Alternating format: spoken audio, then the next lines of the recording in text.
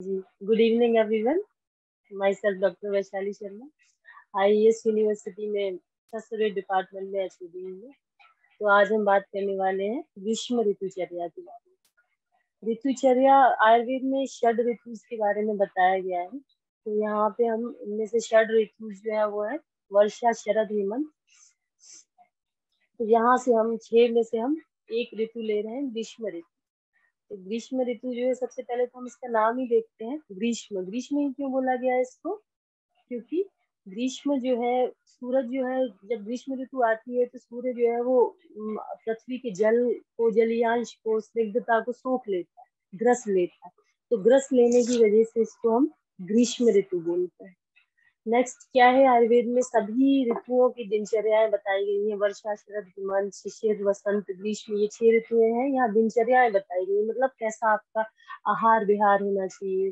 कैसा आपका दिनचर्या होनी चाहिए? कैसा आपका रहन सहन होना चाहिए? तो यहाँ पे हम सबसे पहले मैं आपको जो भी यहाँ पे जानकारी दे रही हूँ, वो आचार्यों के अनुसार दे रही हूँ। कौन कौन से आचार्य? आचार्य चरक, सुश्रुत भाव मिश्र वाघभट इन ऋषियों के अनुसार मैं आपको यहाँ पे जानकारी दे रही है। तो सबसे पहले तो हम यहाँ पे देखेंगे कि ग्रीष्म ऋतु के लक्षण क्या है। कॉमनली हम सब, और ग्रीष्म ऋतु मतलब कौन सा कौन सा टाइम है ग्रीष्म ऋतु? सबसे पहले ग्रीष्म ऋतु के लक्षण देखेंगे, लेकिन टाइम में बता देती हूँ हिंदी जो महीने उनमें ज्येष्ठ आषाढ़, इनको बोलते हैं ग्रीष्म ऋतु। जो आपका मई, जून है, उसको बोलते हैं ग्रीष्म ऋतु। तो सबसे पहले आचार्य सुश्रुत के अनुसार हम ग्रीष्म ऋतु के लक्षण देखेंगे। मैं पहले एक कॉमन आपको बता दूँ कॉमन लक्षण जो हम सब जानते हैं ना समर सीज़न के जो कॉमन लक्षण है, वो क्या है? कि जो सूरज की किरणें वो एकदम तेज हो जाएँगी, एकदम तापमान जो है टेम्परेचर वो बढ़ जाएगा वाटर लेवल कम हो जाएगा, पेड़ों से भी पत्ते झड़ने लग जाएँगे, पेड़ों की छाल सूखने लग जाएगी, हमारी बॉडी से भी जो वाटर डिहाइड्रेट हो जाएगी बॉडी एनर्जी बॉडी की लो होने लगेगी। ये होगा सिंपल जो लक्षण है, जो कॉमन हम सब लोग जानते हैं। अब आचार्यों ने कुछ विशेष लक्षण बताए जिनके बारे में हम बात करेंगे। आचार्य सुश्रुत का कहना है कि ग्रीष्म तीक्षांशु दित्यो मारुते नकृतो असुखा, भूस्तप्ता सरितस्तव्यो दिशा प्रज्वलिता भ्रांत चक्रा युगला पय पानाकुला मृगा ध्वस्ती तृणलता विपर्ण पाद तो सुश्रुत स्थान में सुश्रुत ने ये लक्षण बताए हैं कि ग्रीष्म ऋतु में सूर्य की किरणें जो है वो तीक्ष्ण हो जाती है मतलब एकदम से तेज हो जाती है और अशुभ कारक नैकृत की हवा चलने लगती है। नैकृत जो है, दक्षिण पश्चिम को बोला गया। आयुर्वेद में दक्षिण पश्चिम से जो आने वाली हवा है, उसको अशुभ कारक बताया गया। पूर्व से ईशान से आने वाली हवा को सुख कारक बताया गया है। नदियों का जो प्रवाह है, वो धीमा हो जाता है। छोटी छोटी नदियाँ सूख क्योंकि वाटर लेवल कम हो गया है। सूरज की किरणें तेज हो गई हैं, जिसकी वजह से ये जो नदियाँ हैं, वो सूखने लगती हैं। दिशाएँ जलती हुई जान पड़ती है। मृग भ्रमित तथा प्यास से व्याकुल हो जाते हैं। विरुद्ध तृण तथा लताएँ नष्ट हो जाती हैं। वृक्ष पर्णविहीन हो जाते हैं। ये जो सारे लक्षण है मेन कॉज इनका वही है कि सूर्य की जो किरणें हैं, वो बहुत तेज हो जाती हैं, जिसकी वजह से ये सारी चीज़ें होने लगती है। इसके बाद में नेक्स्ट हम देखेंगे। आचार्य बाघभट्ट के अनुसार, आचार्य बाघभट्ट के अनुसार ग्रीष्म ऋतु के लक्षण क्या क्या क्या क्या होता है ग्रीष्म ऋतु में? तो आचार्य बागवत का कहना है कि ग्रीष्म अतसी पुष्पानी तीक्ष्णांशु दाव दीपिता, दिशो जलंती भूमिश्च मारुतो नैकृता सुखा पवना पवना तप संस्वेद जंतवो जरिता एवं तापार्थ तुंग मातंग महिषे कुलशीकृता कलुषीकृता दिवाकर करांगार निकर छपितांबस प्रवृद्ध रोदसो नद्य छायाहीना महीरूहा विशीर्ण जीर्ण पर्णाश्च शुष्क वलकल बागभट कह रहे हैं। बागभट कह रहे हैं कि सूर्य जो है वो अलसी के फूल के समान आवा मतलब एकदम ऑरेंज दिखने लगेगा और अलसी के फूल के समान आवा वाला तथा वन वन जो जंग, जंगल जो है जब उसमें आग लग जाती है तो वो कैसे सारा ऑरेंज दिखाई देता है? इस तरह से जो सूर्य है वो जलता हुआ हमें दिखाई दिया गर्म हवा धूप तथा पसीने के कारण प्राणी ज्वरित के समान तप्त हो जाते हैं। ज्वरित के समान तप्त हो जाना मतलब टेम्परेचर बॉडी का बढ़ जाता है। जब वातावरण का टेम्परेचर बढ़ा होगा, उसी वातावरण में ही हमारी बॉडी भी रह रही है तो कम टेम्परेचर बढ़ ही जाएगा और उसको हम बोलेंगे कि ज्वरित के समान तप्त हो जाता है। जैसे फीवर आया हो। इसके बाद नेक्स्ट लक्षण इन्होंने कहा है कि ताप से पीड़ित छोटे बड़े हाथी, भैंस आदि नदियों को गंदा कर देते हैं। पानी खत्म हो गया है नदी का, अब उसमें जाके वो भैंस और हाथी नहाएँगे तो वो कीचड़ की फीलिंग देगा तो पानी गंदा हो जाएगा। अंगारों की समान तपती हुई सूर्य की किरणों के कारण नदियाँ सूख जाती हैं तथा किनारे विस्तृत हो जाते हैं। वृक्ष छायाहीन हो जाते हैं, पत्ते गिरने से उनकी छाल उन पर फैली हुई लताएँ सूख जाती है। डिहाइड्रेशन की वजह से पेड़ पौधों की भी ये स्थिति बन जाती है। इसके बाद में नेक्स्ट है हमारे आचार्य भाव मिश्र तो भाव मिश्र के अनुसार ग्रीष्मो वृक्षो अति कटुक पित्तकृत, कफनाशन। इन्होंने बताया है कि ग्रीष्म ऋतु में ग्रीष्म ऋतु जो है वो वृक्ष तथा प्राय सभी वस्तुओं में अति कटुता उत्पन्न करने वाली पित्त वर्धक कफ का नाश करने वाली होती पित्त को बढ़ाती है। आयुर्वेद में बॉडी जो है त्रिदोषों से बनी हुई बताई गई वात, पित्त और कफ। इन वात पित्त और कफ तीनों का समान साम्य अवस्था में रहना ही स्वास्थ्य है। और जब ये जो है तीनों में से कोई एक भी बहुत ज़्यादा बढ़ गया या एक भी बहुत ज़्यादा घट गया तो रोगों की स्थिति उत्पन्न हो जाएगी। आप अनहेल्दी होना शुरू हो जाएँगे। तो जो ग्रीष्म ऋतु है, उसमें वात जो है वो बढ़ने लगता है और कफ जो है वो कम होने लगता है। क्यों? वजह ये है कि वात में रुक्षता ज़्यादा ड्राइनेस ज़्यादा है तो उस टाइम पे ड्राइनेस वातावरण में बढ़ रही है बॉडी में भी बढ़ रही है और जलियांश जो है वो वातावरण से जा रहा है तो बॉडी से भी कफ जो है उसको जलियांश से समृद्ध माना जाता है, जल से समृद्ध माना जाता है तो कफ जो है वो कम होने लगता है। इसके बाद ये तो आ गए हैं ग्रीष्म ऋतु के लक्षण, वातावरण की चेंजेस जो हुए इसके बाद बॉडी में भी हमारे जो है ऋतुओं के अनुसार चेंजेस होते हैं। कौन सा दोष वृद्धि कर रहा है, कौन सा संचय हो रहा है, किसका प्रकोप हो रहा है, किसका प्रशम हो रहा है, प्रत्येक ऋतु में अलग अलग दोष जो है वो संचय प्रकोप और प्रशम अलग अलग दोष का होता है। तो ग्रीष्म ऋतु में हमारे वात का संचय होगा और कफ का प्रशमन होगा। वात का तो संचय होगा, लेकिन अगर प्रकोपित कुछ होता है तो वो है पित्त केवल। इसके बाद में हम अग्निबल देखेंगे। अग्निबल क्या है? अग्निबल से आप ले सकते हैं डाइजेशन, है ना? तो ऋतुओं का अग्निबल से संबंध प्रत्येक ऋतु में अग्निबल जो है वो अलग अलग होता है। हर ऋतु का अलग अग्निबल है। जैसे कि हम अभी सर्दी का मौसम चल रहा है तो कहते हैं कि सर्दी में अच्छा अच्छा खाओ पियो, सब पच जाता है तो अग्निबल जो है वो उत्तम है, इसलिए ऐसा बोलते हैं। इसके बाद में जो हमारी ग्रीष्म ऋतु है, इसमें अग्निबल एकदम हीन होता है, इसलिए भोजन अति मात्रा में यहाँ पे हमें लेने के लिए हमेशा निषेध बताया गया है। बॉडी में जो अग्नि पाई जाती है, वो वैसे वैसे तो वो अग्नि तेरह तरह की, पर यहाँ पे हम सिर्फ़ जठराग्नि की बात कर रहे हैं। तो हेमंत शिशिर इनमें उत्तम रहता है। वसंत शरद में अग्नि बल जो है मध्यम रहेगा। वर्षा और ग्रीष्म में अग्नि बल हीन हो जाया करता है, वर्षा और ग्रीष्म में। तो यहाँ पे हमें अति मात्रा में भोजन नहीं लेना है, गुरु भोजन नहीं लेना है। ये है अग्निबल इसके बाद में हम ऋतुचर्या देखेंगे, ग्रीष्म ऋतुचर्या। कि क्या क्या हमारा जो आहार विहार रहेगा अग्निबल के अनुसार, दोषों के अनुसार हमें ऋतुचर्या का यहाँ पे पालन करना चाहिए जिससे कि स्वास्थ्य बना रहे बॉडी में दूसरों की विषमता ना हो। और यहाँ पहले तो हम साधारणतः ही बात करेंगे कि किसने क्या बताया आहार विहार क्या पालन करना चाहिए, हमें श्लोक दिए हुए हैं बहुत बड़े बड़े मैं आपको पढ़ के बता देती हूँ। फिर उसका अर्थ हम कंबाइन हम आप, इसका अर्थ पढ़ लेंगे एक बार। आचार्य ने प्रत्येक एक छोटी से छोटी चीज़ पे भी बहुत डीप स्टडी की हुई है। आचार्य चरक ने ग्रीष्म ऋतुचर्या जो बताई है। वो इस तरह से है, मयूख है जगता स्नेहम ग्रीष्म पैपियते रवि स्वादु, शीतम द्रव स्निग्धम अन्न पानम तदा हितम। शीतम सट शर्करम मंथम, जांगलान रग पक्षिण घृतम पय शाल्यन्नम।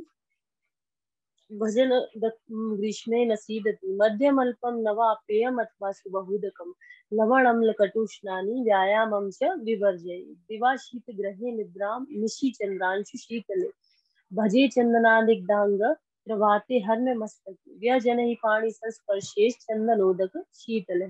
सेव्य मानो भजे दास्याम मुक्ता मणि विभूषित। काननानि च शीतानि, जलानि कुसुमानि च। ग्रीष्म काले निषेवेत मैथुनाद्विरतो नरह ये हमारे आचार्य चरक ने ग्रीष्म ऋतुचर्या बताई। आचार्य सुश्रुत का भी पहले हम श्लोक देख लेते हैं। रसाश्च अग्नि गुणोदरिक्ता निधागे परिवर्जयेत सरासिन सरितो विपर वापिर वनानि रुचिराणि च चन्दनानि परार्ध्यानि स्वजः स कमलोत्पला तालग्रन्थानिलाहारसता शीतग्रहाणि च धर्मकाले निषेवते वासांसि सुलभूनि च शर्कराखंड दिग्धानि सुगंधीनि हिमानि च पानकानि च सेवेत मंथाश्चापि शर्कराणि। भोजनं च हितं शीतं सघृतं मधुरद्रवं च तेन पैसारातो शर्करा मधुरेण च प्रत्यग्र कुसुमाकीर्णे शयने हर्णे संस्कृते शयित चंदनार्दांग चंदनार्दांग स्पृश्यमानो अनिल सुखे तो ये जो है आचार्य चरक और सुश्रुत के श्लोक हैं। इन्होंने बहुत ही डीप स्टडी की है हर चीज़ के बारे में ताकि आयुर्वेद में जो दो हम लोग उद्देश्य है, स्वस्थ स्वास्थ्य रक्षणम आतुरस विकार प्रशमनम चा मतलब स्वस्थ के स्वास्थ्य की रक्षा करना और रोगी के रोग का शमन करना। तो इनका पहला उद्देश्य है कि स्वस्थ के स्वास्थ्य की रक्षा की जाए। इसलिए उन्होंने इस तरह से दिनचर्या ऋतुचर्या बताई कि स्वास्थ्य की रक्षा हो सके। तो अब हम इन श्लोकों की कंबाइंड अर्थ को देखेंगे, समझेंगे। इस काल में मधुर, शीत वीर द्रव एवं स्निग्ध अन्नपान का प्रयोग करना चाहिए। मधुर शीतवीर द्रव एवं स्निग्ध। मधुर मतलब कि कुछ ना कुछ स्वीट कुछ ना कुछ मीठा ज़रूर खाने में होना चाहिए। लेकिन मीठे के नाम पे हमें व्हाइट शुगर बिल्कुल भी नहीं लेना है, सफ़ेद शक्कर बिल्कुल भी नहीं लेना है। उसकी जगह पे हमें मिश्री लेना है या खांड जो है वो जो गुड़ की शक्कर है, वो लेना है, गन्ने का रस लेना है फ्रूट शुगर लेना है, ये सारी चीज़ें हम ले सकते हैं। सफ़ेद शुगर हमें बिल्कुल भी नहीं लेना है। शीत वीर मतलब ऐसे पदार्थ हमें लेना है अपने भोजन में जिनका की तासीर, जिनकी ठंडी है, जिनका स्वभाव ठंडा है। द्रव मतलब लिक्विड फॉर्म की जो चीज़ें हैं, वो ज़्यादा से ज़्यादा खाने में, जिससे कि बॉडी में डिहाइड्रेशन की जो स्थिति है, वो पैदा ना हो। कुछ ना कुछ लिक्विड बॉडी उसमें, अपने भोजन में हमें ज़रूर शामिल करना है। एवं स्निग्ध अन्नपान का, स्निग्ध क्या है? कि घृत का प्रयोग करें स्निग्ध चीज़ें, तेल घृत का जो भी हम दालें ले रहे हैं, जैसे मूंग की दाल इसमें विशेष करके बताई गई है, ग्रीष्म ऋतु में। तो तुअर की दाल हम ले सकते हैं, लेकिन तुअर की दाल जो है वो रुक्ष है तो हमें उसमें, उसे घृत से संस्कारित कर लेना हमें उसमें घी का तड़का लगा लेना है, जिससे कि वो हमें ड्राई नहीं करेगी बॉडी के अंदर। तो इस तरह से हमें स्वीट और शीत, ठंडी चीज़ें लेना है। जूस, फ्रूट्स, सत्तू ले, सत्तू का शरबत ले तरह तरह की शरबत हमें इस मौसम में लेना चाहिए, क्योंकि लिक्विड हमें ज़्यादा लेना है बॉडी को डिहाइड्रेशन से बचाना है तो लिक्विड ज़्यादा लेना है। सत्तू का शरबत हो गया खस का शरबत हो गया, आंवले का शरबत हो गया, गुलाब का शरबत हो गया, ये सारे अर्क जो है मिलते हैं, इनके शरबत बना के हमें लेना चाहिए। ड्राई चीज़ों को हमें अवॉइड करना है। जो रुक्ष चीज़ें हैं, उनको अवॉइड करना है, जैसे ड्राई फ्रूट्स है, काजू बादाम, ये सब आपको नहीं लेना है। अगर आपको बादाम खाना ही है तो उसको भिगो के खाना। और ड्राई फ्रूट्स में आप द्राक्षा और मुनक्का, ये सारी चीज़ें ले सकते हैं, लेकिन इसके अलावा ड्राई फ्रूट्स आपको बहुत नहीं खाना है। इससे स्किन डिसीजेस हो सकती है, बहुत सारी प्रॉब्लम बॉडी में हो सकती है। इसके बाद कह रहे हैं कि मधुर तथा शीतल मंथ, जंगल पशु पक्षियों का मांस, रस, घृत दुग्ध, चावल आदि का सेवन करके शरीर के बल को बनाए रखना चाहिए, क्योंकि शरीर का बल भी कम होता है, क्योंकि डिहाइड्रेट हो रही है बॉडी अग्नि बल भी कम है तो शरीर का बल कम, उसके बल को बनाए रखने के लिए हमें मधुर, शीतल मंत्र शरबत आदि जो लेने हैं, वो उनके बारे में बात है। जंगल पशु पक्षियों का मांस रस बताया है, मांस नहीं बताया, मांस रस बताया है मतलब कि सूप लेना है। मांस हम नहीं पचा पाएँगे, क्योंकि जो गर्मी का जो सीज़न है इंटेस्टाइन्स उसमें बहुत वीक होती है है ना? जो आंतों का जो अम्ल रस जो होता है, वो कम हो जाता है गर्मी के मौसम में। क्यों कम हो जाता है?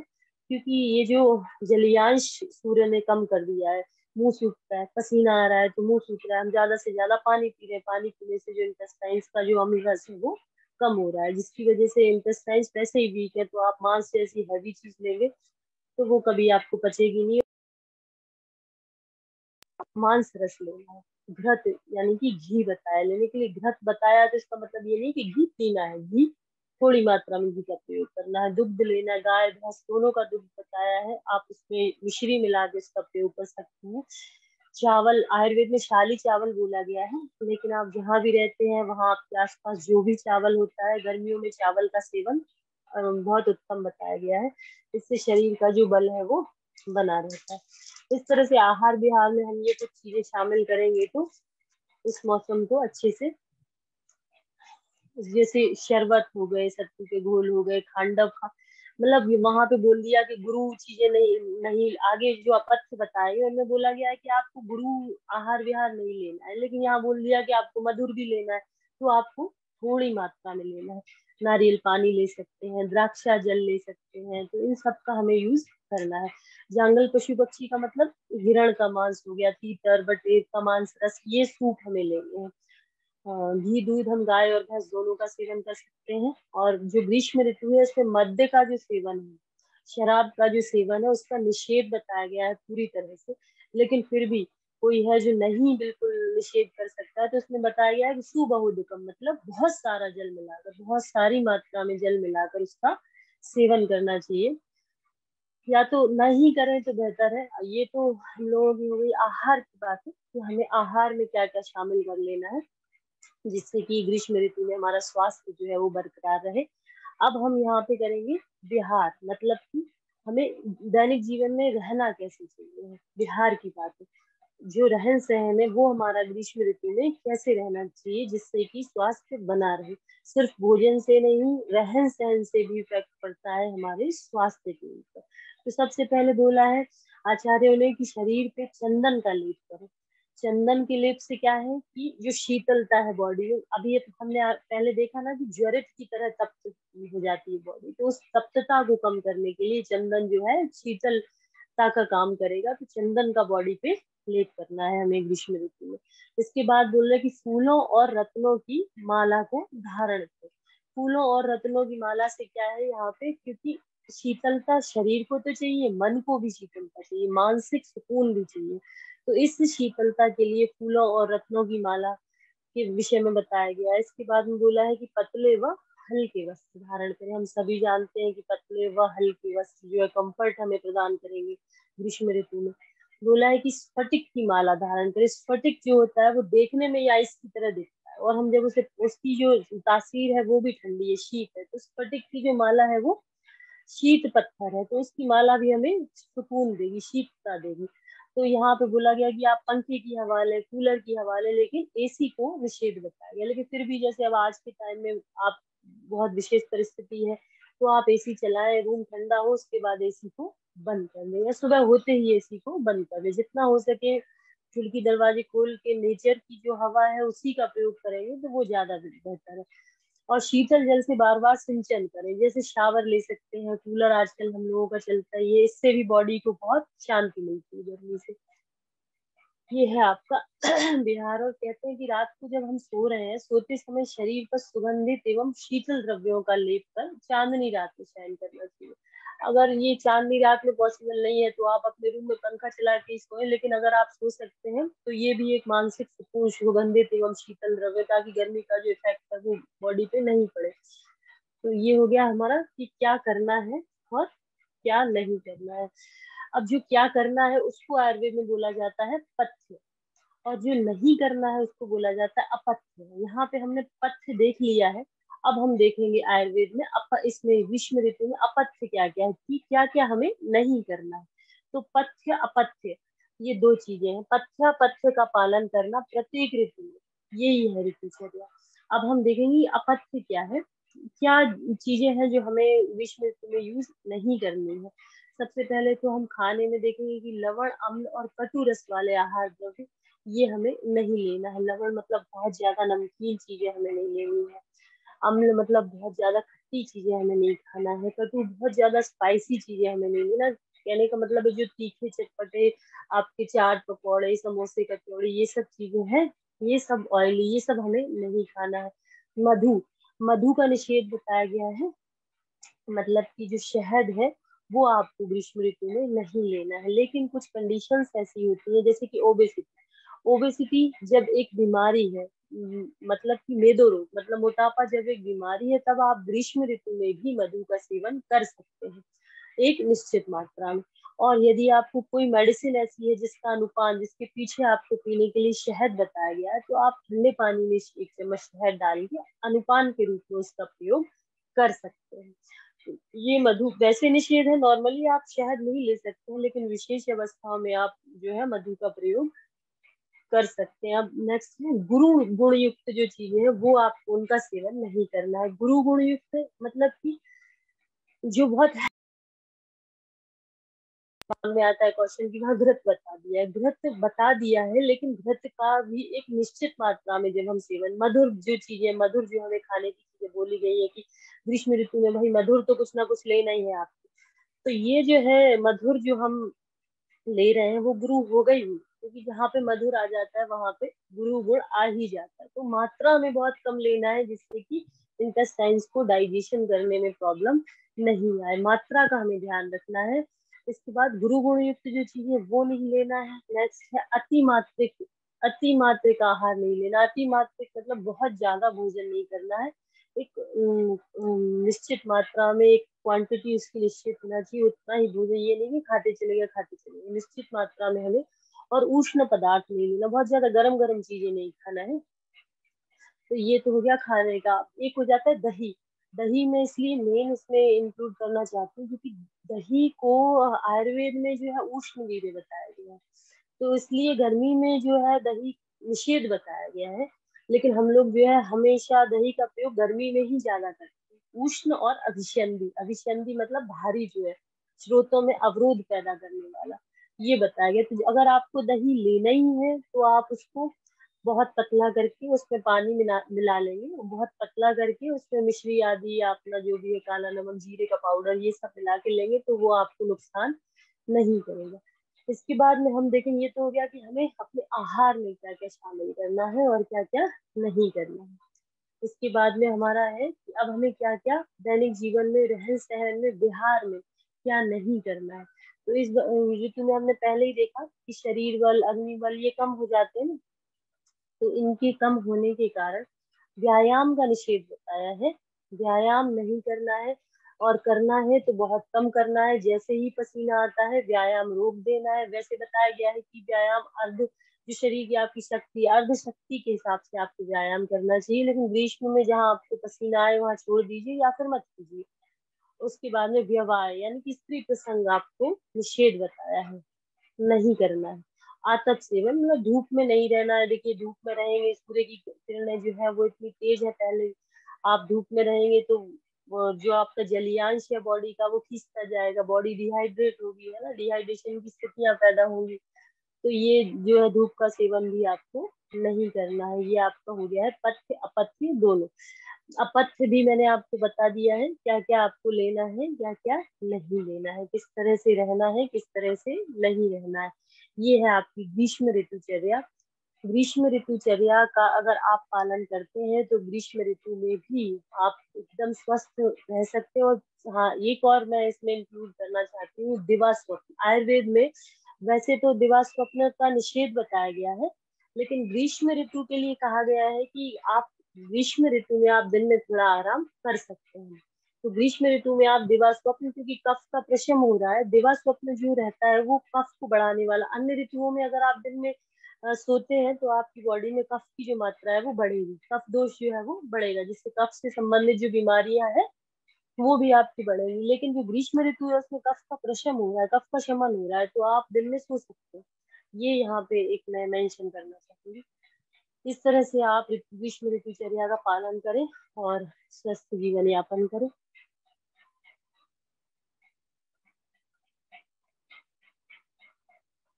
ये अपनी ग्रीष्म ऋतुचर्या यहाँ पे कंप्लीट होती है। उसके बाद जो छोटी छोटी डिसीज है ग्रीष्म ऋतु में हीट स्ट्रोक हो गया, अपना फ़ूड पॉइजनिंग हो गया, घमोरिया है स्किन डिसीजेज हो जाती है, बहुत सारी फंगल इन्फेक्शन हो जाते हैं। तो ये सारी चीज़ें भी आयुर्वेद में मेंशन की गई हैं, इनके बचाव भी मेंशन किए गए हैं। जॉन्डिस हो गया डिहाइड्रेशन हो गया टाइफाइड हो गया, ये मैक्सिमम आपको ग्रीष्म ऋतु में डिसीज देखने को मिलेगी। ये आपकी हो गई है ग्रीष्म ऋतुचर्या कंप्लीट।